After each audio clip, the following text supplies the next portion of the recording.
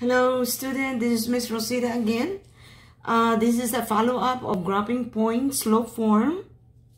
Okay, I have three equations, number one, number two, and number three to model you how to graph it. Okay, so let us take a look at number one. First thing is to identify the m. The slope is 3.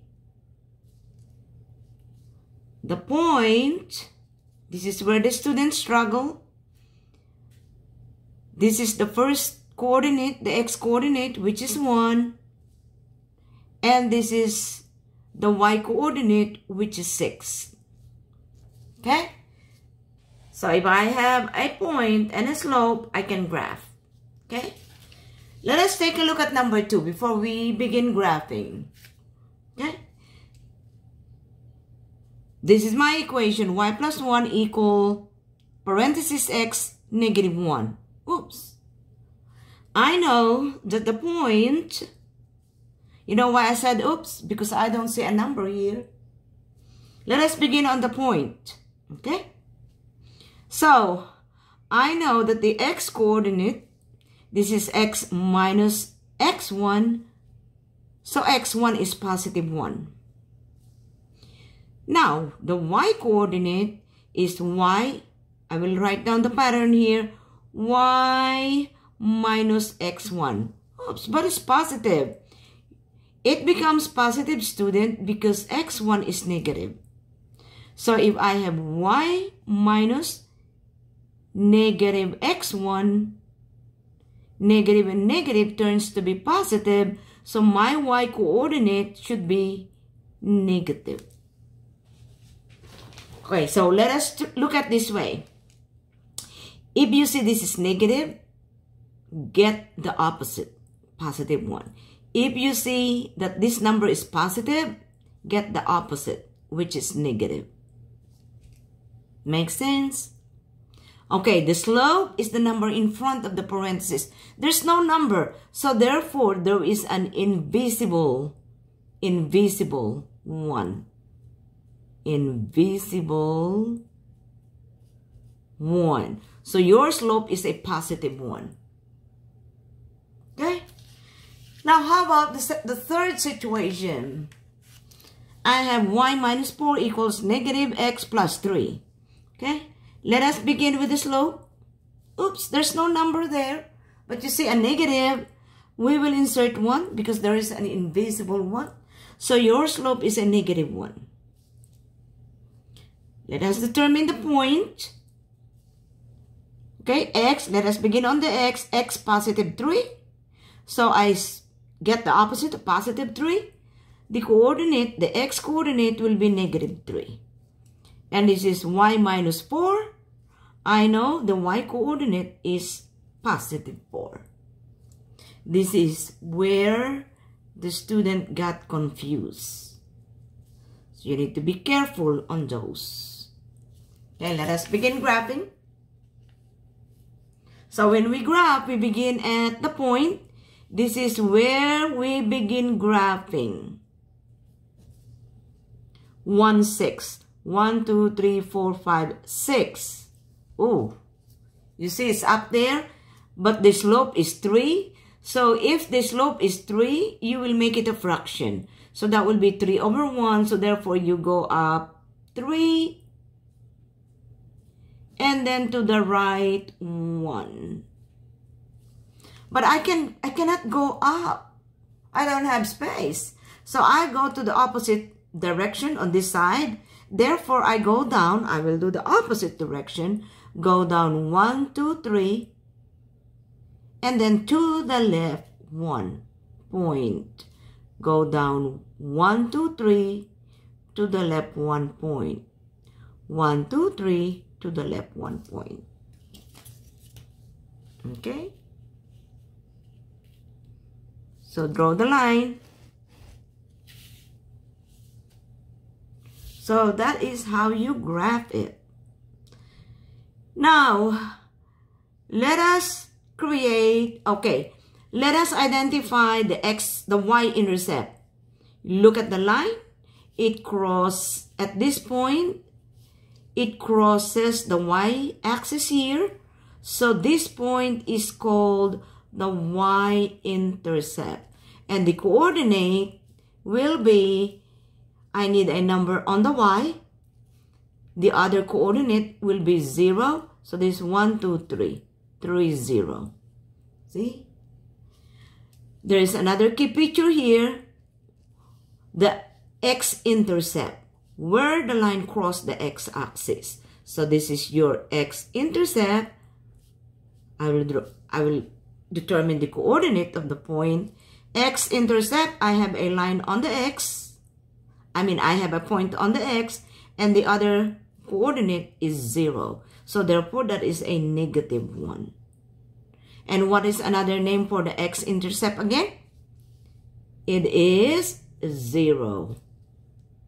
And what type of equation of line is this? This is type of slope is positive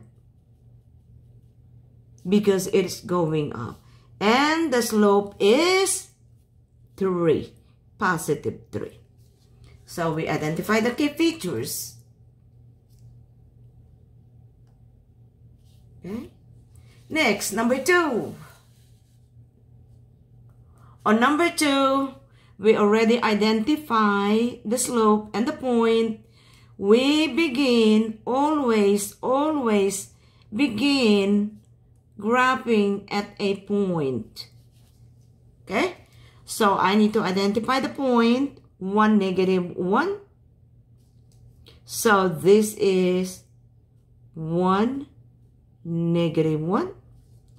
My slope is 1. Make it a fraction. If you have a whole number, student, the denominator, if you want to make it a fraction, the denominator is always 1. So therefore, I go up 1 and then to the right 1. So from here, I go up 1 to the right 1 point, go up 1 to the right 1 point, Go up 1 to the right 1 point. Go down 1 to the left point. Go down 1 to the left 1 point. Now I will start graphing.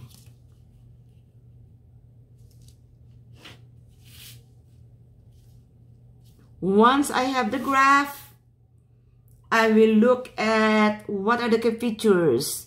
We begin with the y-intercept. The y-intercept is this where it crossed the y-axis. So the y-intercept, you have the number on the y, 0 on the x. So 0, negative 2. So the y-intercept is 0, negative 2. The x-intercept is where the line crossed the x-axis. So we have x-intercept to write the coordinate of the point of the x-intercept, there should be a number on the x and the other coordinate y is 0. So this is 2, 0. Do you see that? Pay attention to your y-intercept, x-intercept. And the slope is, we said 1 and it is positive.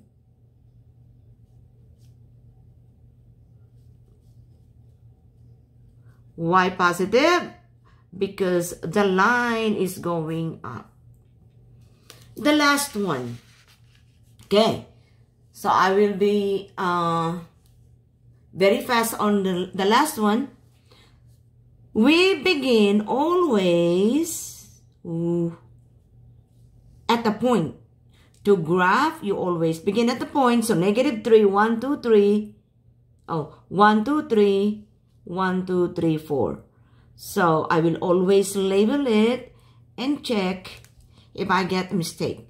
1, 2, 3, 1, 2, 3, 4. So I have the beginning point here. The slope is negative 1. I will make the slope a fraction. I will write the direction. Oops, negative. So that will be down 1.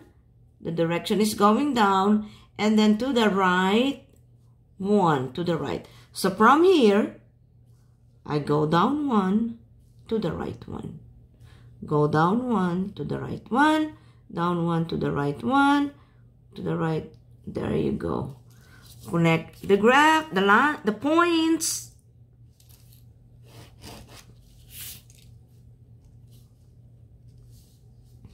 I will identify my y-intercept.